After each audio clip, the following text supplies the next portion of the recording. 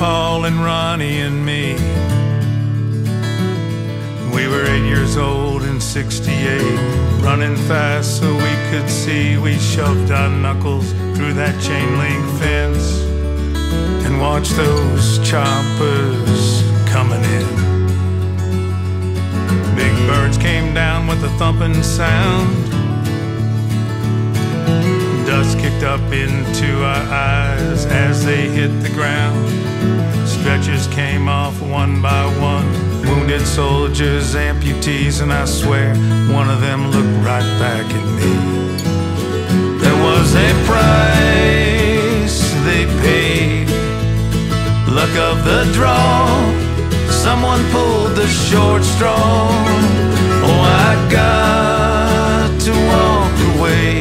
But now I'm old enough to know in this life there's a price. Not everybody pays. Not everybody pays. Not everybody pays.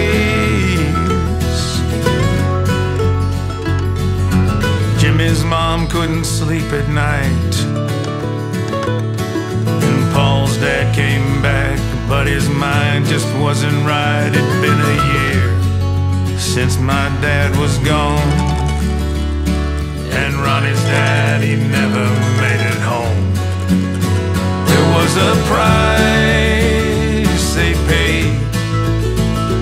of the draw.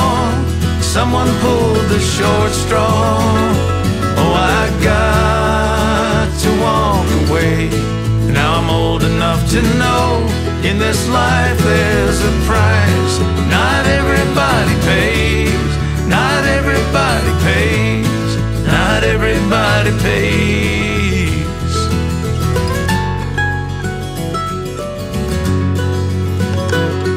Years later now, can't forget.